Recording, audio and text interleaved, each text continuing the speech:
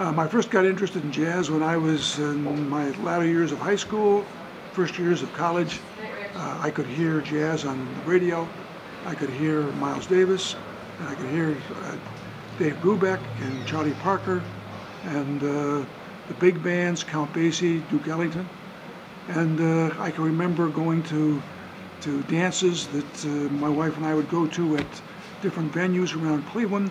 Uh, there was a lake, uh, can't remember, it was Conneaut Lake, maybe it was, and uh, we would, there'd be a jazz band playing after my wife and now my wife, I was going with her, and I was in the first years of college. We would go out for a date, and uh, probably about a mile and a half from where she lived, uh, there was a, a small bar restaurant.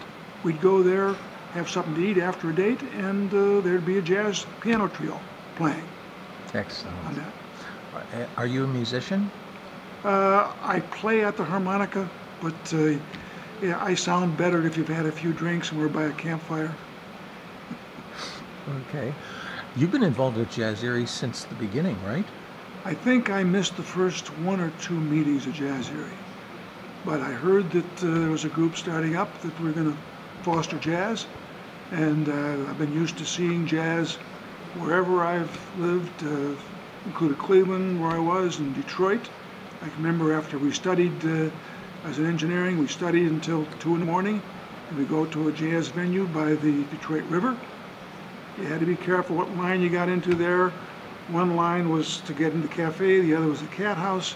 You had to be careful with that. But, uh, and, uh, and in Washington, D.C., uh, my wife and I uh, saw jazz there too on our honeymoon.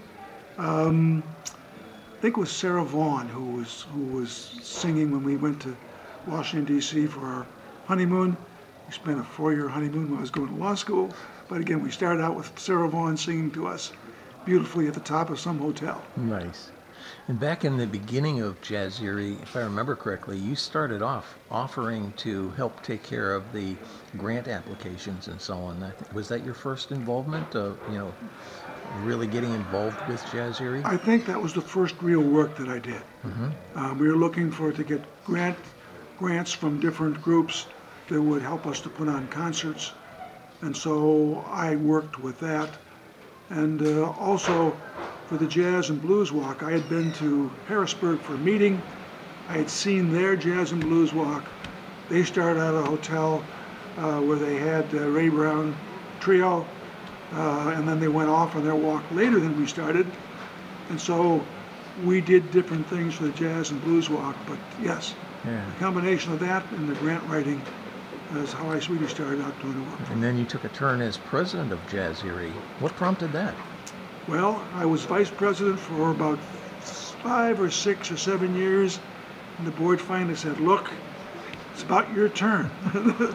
and frankly, I enjoyed it. I was president for two years and uh, had a great time.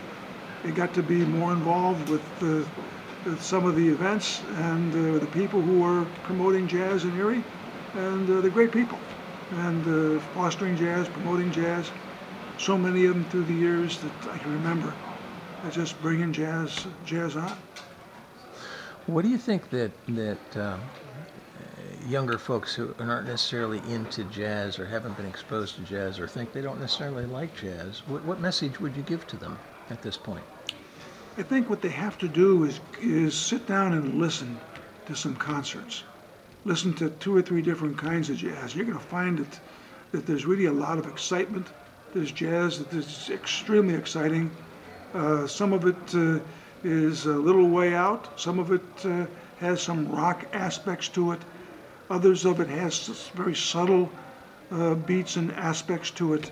Depending on the kind of music someone likes, you can find a lot of jazz that's really uh, in line with what you like. Latin jazz is, is really something that uh, a lot of young people can get into very easily because uh, it can be very exciting. Cool. Thank you, Ed.